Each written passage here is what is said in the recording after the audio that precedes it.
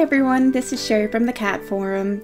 I want to wish you all a very happy 2023 or 2023, however you choose to say it. 2022 is over, most likely. 2022 is in the past, most likely. We can all hope, but by the time you're watching this, it will probably be New Year's Day, and that means that everything that happened, both good and bad, in the previous year can now be forgotten. It can be pushed to the side, and we can all look to the future. I know for me, I'm making a New Year's resolution to be a better person, to be a more open person, and to be a more trusting person. All of those things come very, very hard to me, but I'm going to do my best. A long time ago, back when I was in college, I was all of those things. I was very open, I was very trusting, I was very outgoing, I was an extrovert. And I kind of miss those days a little bit. So even though I don't have very many opportunities where I currently live to go out and do those things and meet people and, and all of that, I'm still going to try through the lens of this camera and through other means to just open up myself and see what the world, you know, has to offer me. In the meantime, I do apologize for not bringing you the kitten video yet. Kittens, oh, kittens are a bundle. They're a bundle of love, they're a bundle of joy, they're a bundle of hot mess. So I'm still working on the video because the early stages of life are just, they're crazy. There are so many changes happening every single day. Every hour something hap is happening in a kitten's life. So I want to bring you the most comprehensive video possible. So give me just a little more time and I promise that I will bring that to you. In the meantime, I want to challenge you to make a New Year's resolution and not something like I'm going to diet or I'm going to um, read 10 books in the next 12 months or something like that. I want you to do something that actually has some sort of true meaning to you um, and that can also help other people.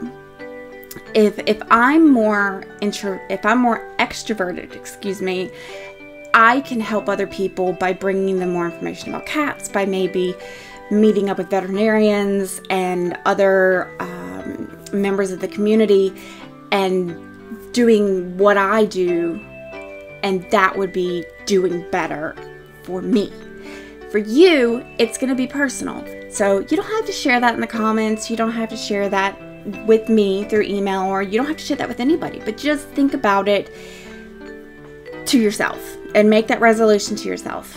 Um, and that's what I challenge you to do. That's what I challenge all of you to do. I also challenge you not to get smashed and, you know, do anything terribly bad tonight. I mean, you can do some bad. That's granted. But don't do anything terribly bad. And if you have an animal, please keep that animal indoors tonight. Mishaps do happen tonight, especially tonight, also on Halloween and on July the 4th. Whenever there's fireworks involved, mishaps happen. Cruelty happens. It's a fact of life. But we can avoid some of that if you just keep your animal indoors. Whether it's a cat or a dog or a bird or a gerbil, doesn't matter. Keep it inside.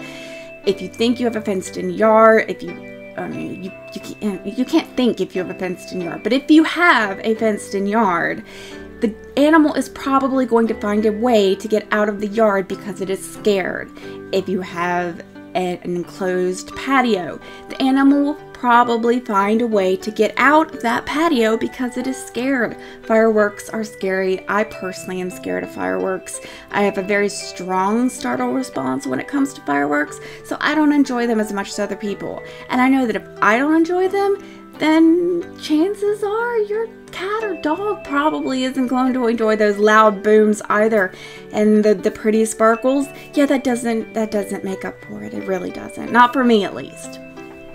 Fireworks are fine from a distance, like if they're put on by a city or uh, like this Sydney Bridge um, in Australia does a magnificent display. Most places are starting to go to drone work instead of fireworks because it's better for the environment and it's a lot safer.